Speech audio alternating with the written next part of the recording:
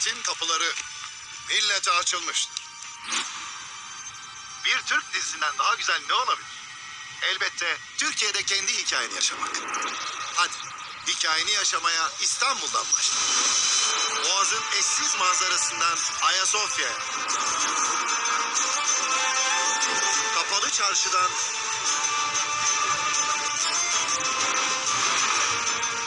Alışveriş merkezlerine. Başındaki Sapanca'dan Karadeniz'in yemyeşil yaylalarına, tarihin hazinelerine ev sahipliği yapan Bursa'dan turizmin gözdesi Antalya'ya, oradan unutulmaz bir tatil deneyimi yaşayacağın Muğla. En güzel hikayeler burada seni bekliyor. Aynı değerleri, aynı duyguları paylaşmak için hadi Türkiye'de buluşalım. Türkiye seni bekliyor.